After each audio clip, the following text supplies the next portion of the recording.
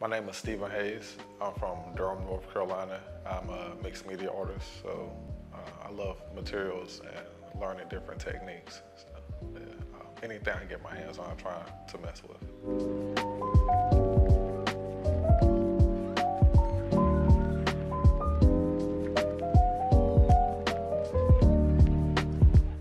While here at Black Rock, uh, I did a few face castings, uh, some wood cuts and crocheting. Also try using the same material that they used to weave the baskets with, which is like kind of hard to use, but um, you know, because I never used the material before, so just playing around with the um, the fibers and just some regular string and yarn. Um, end up making this right here, just to test out the materials and, and see how it works.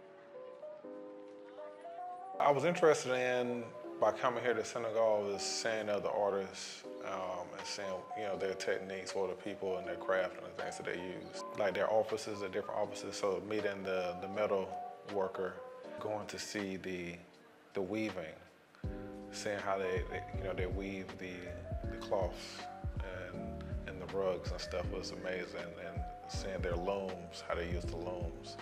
Um, I enjoyed seeing that. So I just love technique and seeing somebody in the middle of their process and making making stuff. But as far as like what I would use in my work, um, I'm really liking the, the basket weaving because um, I do a lot of crocheting and weaving through my work. So just using more natural materials.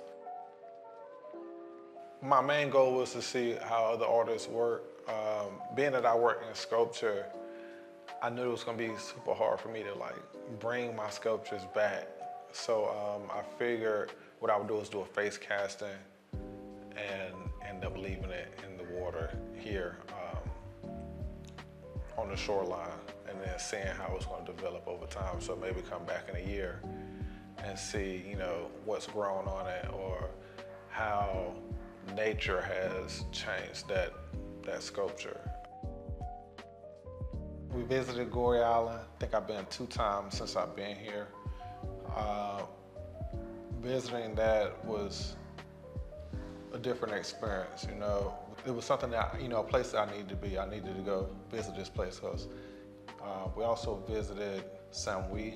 Also seeing like the ships and seeing the decor on the ships and the painting and I guess the um, the personality that's painted on the ships um, was was like beautiful.